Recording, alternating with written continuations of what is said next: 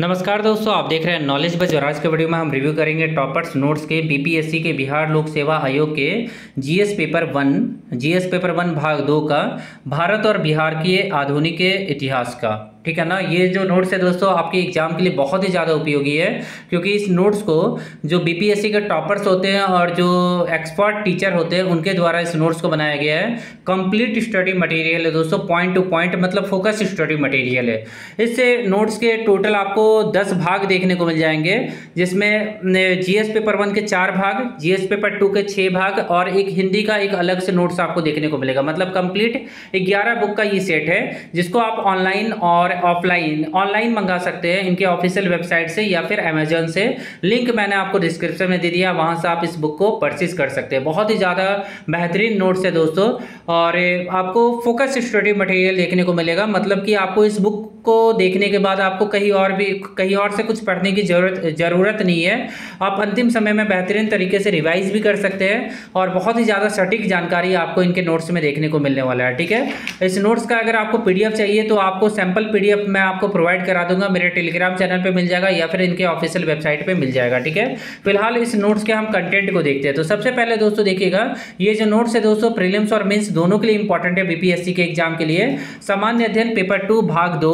जिसमें भारत और बिहार के आधुनिक इतिहास को कवर किया गया है, ठीक है? अब दोस्तों आप देखेंगे, भारत और बिहार का आधुनिक इतिहास, सबसे पहले भारत में यूरोपीय शक्ति का आगमन, मुगल साम्राज्य का पतन, उसके बाद नए राज्यों का उदय, उसके बाद भारत में ब्रिटिश सत्ता का सुदृढ़ीकरण एवं विस्तार, अठारह तक प्रशासनिक संगठन, अठारह के विद्रोह, अठारह के बाद प्रशासनिक परिवर्तन, उसके बाद दोस्तों आप देखेंगे सामाजिक, धार्मिक सुधार आंदोलन उन्नीसवीं सदी, उसके बाद ब्रिटिश शासन के तहत अर्थव्यवस्था, शिक्षा और प्रेस का विकास ब्रिटिश शासन के खिलाफ लोकप्रिय आंदोलन राष्ट्रवाद का जन्म, उदारवाद का चरण, अठारह से 1905 उग्रवादी संगठन राष्ट्रवाद का युग चरमपंथी चरमपंथी चरण 1905 से 1909 उसके बाद दोस्तों जन आंदोलन गांधी युग 1917 से 1925 स्वराज्य के लिए संघर्ष 1925 से उन्नीस उसके बाद स्वतंत्रता की ओर 1940 से उन्नीस से स्वतंत्रता की पूर्व संध्या पर पर भारत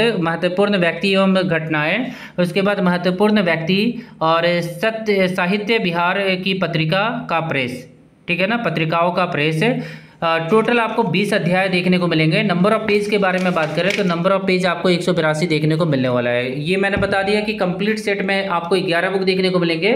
जो प्राइस होगा वो बत्तीस सौ में कंप्लीट 11 बुक आपको देखने को मिलेंगे। ठीक है तो इस बुक का दोस्तों हमने विषय सूची देख लिया।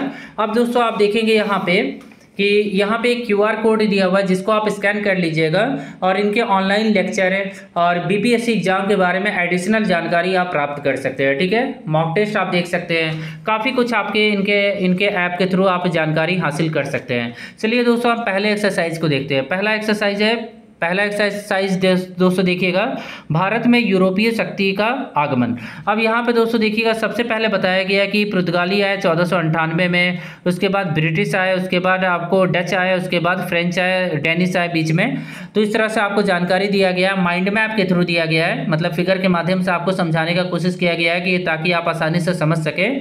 उसके बाद दोस्तों यूरोपीय, यूरोपियों के भारत आगमन को प्रोत्साहित करने वाले कारक मतलब बहुत ही बेहतरीन तरीके तरीके से ये नोट्स को सजाया गया है। मतलब सिस्टमेटिक ऑर्डर में आपको जानकारी देखने को मिलने वाला है, ठीक है? सिंपल लैंग्वेज का उपयोग किया गया है। प्रिंटिंग क्वालिटी पेपर क्वालिटी बेहतरीन देखने को मिलने वाला है दोस्तों, ठीक है? हर एक टॉपिक को छोटे छोटे टॉपिक में डिवाइड किया गया है। बहुत ही बेहतरीन तरीके से यहाँ पे सारे इन्फॉर्मेशन को दिया गया है। नोट में भी आपको जानकारी देखने को मिल जाएगा। और काफ़ी कुछ आपको देखने को मिलने वाला है इनके बुक के अंदर। यहाँ पे मैप जो होगा दोस्तों, बहुत ही ज़्यादा क्लियर देखने को मिलेगा। सिंपल लैंग्वेज का यूज़ किया गया है और जगह जगह आपको मतलब बहुत ही अच्छा जानकारी देखने को मिलने वाला है दोस्तों सिंपल लैंग्वेज में, ठीक है ना? बुक दोस्तों काफ़ी ज़्यादा बेहतरीन है। इस बुक को आप आसानी से अंतिम समय में रिवाइज कर सकते हैं। और टू द पॉइंट है मतलब जो बीपीएससी में पूछा जाएगा, जितना आपको बीपीएससी में करके आना है, उसको बहुत ही बेहतरीन तरीके से इनके नोट्स के अंदर कवर किया गया है, ठीक है? अगला एक्सरसाइज दोस्तों देखेंगे, मुगल साम्राज्य का पतन किस तरह से हुआ? सबसे पहले औरंगज़ेब के बारे में बेसिक जानकारी है। विदेशी आक्रमण हुआ।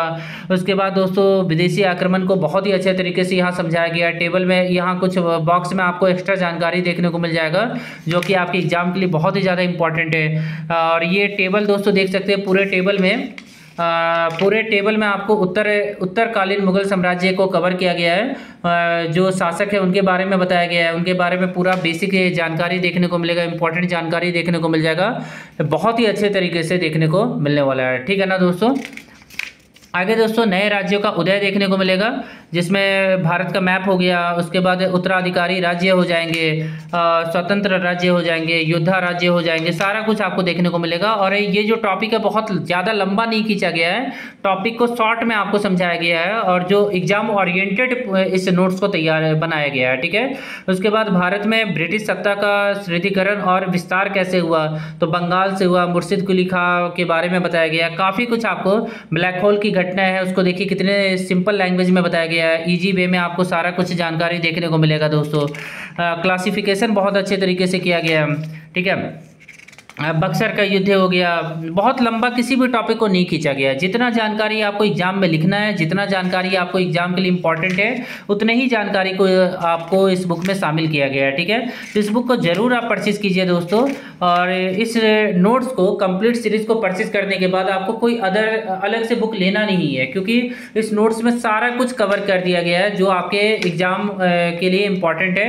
एन को ध्यान में रखें एन आपको अलग से कुछ भी आपको पढ़ना नहीं है है क्योंकि एनसीईआरटी e का ये निचोर है। ये जो नोट्स है ना एनसीईआरटी e का कंप्लीट है आ, मतलब ये सॉल्यूशन है। एनसीईआरटी के के जगह पे आप इस नोट्स को आप देख सकते हैं। बहुत ही बेहतरीन तरीके से सारे जानकारी को इस नोट्स के अंदर शामिल किया गया है ठीक है? चैप्टर नंबर ग्यारह जैसे देखिएगा दोस्तों ब्रिटिश शासन के खिलाफ लोकप्रिय आंदोलन कौन कौन से हुए लोगों के प्रति प्रति लोगों के प्रतिरोध के लिए जिम्मेदार कारण नागरिक विद्रोह, सारा कुछ जानकारी सन्यासी विद्रोह हो गया। बहुत शॉर्ट में समझाया गया है सारे टॉपिक को, ठीक है? और बहुत ही सिंपल लैंग्वेज में समझाया गया है। बहुत ज़्यादा लंबा नहीं खींचा गया है। बहुत ही ज़्यादा मज़ा आने वाला है दोस्तों इस नोट्स को आपको स्टडी करने में। कंप्लीट स्टडी मटेरियल है फोकस स्टडी मटेरियल है, और बहुत ही ज़्यादा अच्छा स्टडी मटेरियल है दोस्तों। प्रिंटिंग क्वालिटी और पेपर क्वालिटी का ध्यान में रख, ध्यान रखा गया है। और टेबल आपको जगह जगह टेबल आपको देखने को मिल जाएँगे। स्टैटिक जानकारी को भी टेबल के माध्यम से कवर किया गया है, ठीक है? स्वतंत्रता के पूर्व पूर्व संध्या पर भारत सीमा आयोग हो गया, उससे रिलेटेड जो भी इंपॉर्टेंट टॉपिक है वो कवर किया गया है, ठीक है? महत्वपूर्ण व्यक्ति व्यक्ति और घटनाएँ जैसे गवर्नर जनरल हो गए, उनके शासनकाल में क्या क्या घटना हुए, उनके बारे में बताया गया। सारा कुछ आपको जानकारी देखने को मिलने वाला है। क्रांतिकारी घटनाएँ हो गए। उसके बाद आप देखेंगे धर्म पर गांधी जी के विचार। ठीक है, ये टॉपिक कौन सा है? महत्वपूर्ण व्यक्ति और घटनाएँ। ठीक है? उसके बाद दोस्तों, महत्वपूर्ण व्यक्ति के बारे में देखने को मिलेगा। उससे रिलेटेड जो क्वेश्चन पूछे जाते हैं, वो भी यहाँ सम्मिलित किया गया है। गांधी जी का प्रारंभिक जीवन क्या था? सारा कुछ आपको देखने को मिलेगा। मतलब कंप्लीट स्टडी मटेरियल है पॉइंट टू पॉइंट है और इस बुक को देखने के बाद आपको कुछ और पढ़ना ही नहीं है, ठीक है ना? तो बुक दोस्तों बहुत ही ज़्यादा बेहतरीन है, ठीक है? एक एक करके मैं सारे बुक का मैं रिव्यू कर दूँगा। और ये जो बुक है दोस्तों जीएस पेपर भाग भाग एक है। नहीं जीएस पेपर वन भाग दो है। भारत और बिहार के आधुनिक इतिहास। ठीक है, बहुत ही शानदार बुक है। लिंक आपको डिस्क्रिप्शन में मैंने दिया हुआ है। टोटल आपको ग्यारह बुक ऑर्डर करना है। और इस बुक का जो एमआरपी है, मैंने बता दिया दोस्तों, बत्तीस सौ रुपये है। सी आप कर सकते हैं, ठीक है? और कोई भी डाउट होगा होगा इसके अलावा तो आप लोग कमेंट करके मुझे बताइएगा। सैंपल पीडीएफ मैंने टेलीग्राम पे पे शेयर कर दिया है। आप वहाँ पे जाके इस बुक का सैंपल पीडीएफ भी देख सकते हैं। वीडियो अच्छा लगा हो तो वीडियो को प्लीज़ लाइक करके चैनल को प्लीज़ सब्सक्राइब करके हमें सपोर्ट कीजिएगा। आशा करता हूँ कि आज का दिन आप लोग का काफ़ी अच्छा रहे। अगले वीडियो में फिर से मिलते हैं। Thank you